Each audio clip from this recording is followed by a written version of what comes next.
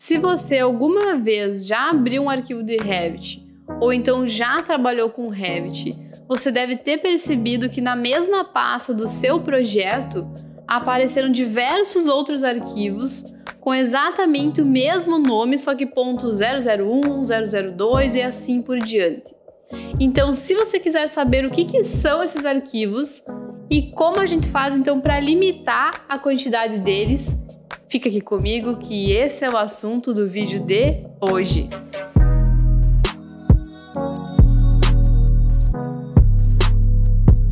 Olá pessoal! No vídeo de hoje eu vou falar um pouquinho sobre esses arquivos aqui que ficam aqui junto na pasta, então com 001, 002 e assim por diante. Então, esses arquivos, eles são arquivos de backup e eles servem para a gente ter então um histórico do nosso projeto. Então, o que, que isso significa? Cada vez que eu salvo esse projeto, então eu estou aqui trabalhando nesse meu projeto, eu venho aqui e salvo, ou então dou Ctrl S, ou até salvo quando aparece aquela, aquele aviso né, na tela pedindo para eu salvar ou não, ele vai criar nesse momento um arquivo de backup com o projeto neste ponto, quando eu vou salvar, tá? Então, com isso, cada vez que eu for salvando, ele vai então criando diversos arquivos. E isso de fato é super útil, porque se por acaso no meio aqui do meu projeto eu percebo que eu deletei alguma coisa que eu não queria, ou então eu até quero voltar para trás para ver como que estava esse projeto antes, até fazer um comparativo de antes com agora, eu consigo através desses arquivos de backup. Ou até mesmo, né, se acontecer de, por exemplo, caiu a luz, eu perdi o meu arquivo, ele vai ter ali então os arquivos de backup para eu conseguir voltar ao meu trabalho. E uma coisa que vale até falar aqui, que vocês devem estar se perguntando: ah, se der um fatal error também isso é bom? Então, o Revit, quando ele dá o fatal error, ele pede para salvar. Então, nesses casos, ele vai ter ali o arquivo que ele vai salvar automaticamente. A gente não precisa mais se preocupar com aquilo que tinha até no AutoCAD, que dava fatal erro, a gente perdia tudo e tinha que começar tudo de novo, tá? Então, não acontece isso por aqui. Bom, então como que eu faço agora para limitar né, essa quantidade de arquivos? Até porque o padrão aqui do Revit são 20 arquivos de backup. E o que, que acontece com esses 20 arquivos de backup? Ele vai salvar 20 e a partir do momento que eu for salvar então a vigésima primeira, ele vai substituir o primeiro e assim por diante, sempre vai manter então 20.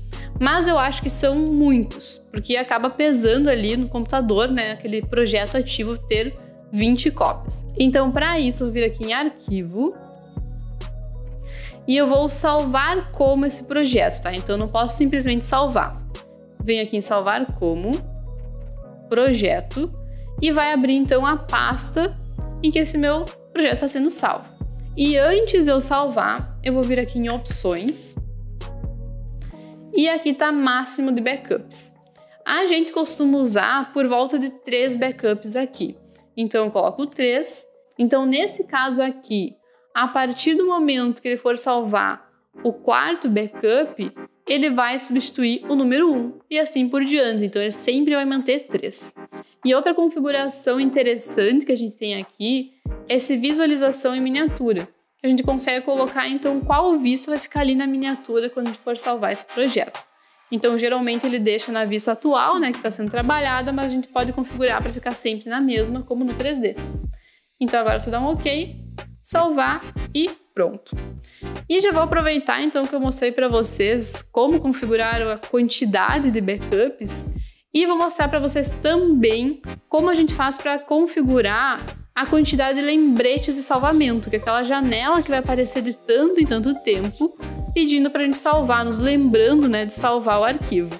E isso também é super importante para a gente não ficar muito tempo sem salvar o nosso arquivo e de fato, né, acontecer alguma coisa, se eu não salvei nenhuma vez, ele não vai ter nem backup, porque eu preciso salvar o arquivo para ele gerar aquele backup tá? Então, como a gente faz isso? Aqui em arquivo também, eu vou vir agora aqui em opções.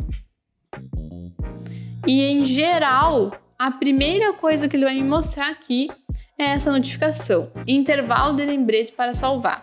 Aqui está 30 minutos e a gente pode configurar no mínimo de 15 em 15 ou então no máximo de 4 em 4 horas, ou até mesmo deixar sem nenhum lembrete. Essa opção sem lembretes eu não recomendo muito, porque você pode ficar ali um turno inteiro trabalhando e quando vê acontece alguma coisa, falta a luz, você não tem bateria você vai acabar perdendo o trabalho então naquele turno inteiro. Então é importante colocar esses lembretes realmente para nos lembrar de salvar, que a gente vai trabalhando, trabalhando e quando vê não salva o arquivo, tá? Então eu deixei aqui de 30 em 30 e vocês podem configurar isso à vontade. Depois só dá OK e feito isso, então já deixamos configurado. Nesse meu caso, até mantive o que já estava ali. Certo, pessoal? Então essa é uma dica rápida, mas ela é super útil para o nosso dia a dia de trabalho. E espero que vocês tenham gostado desse vídeo.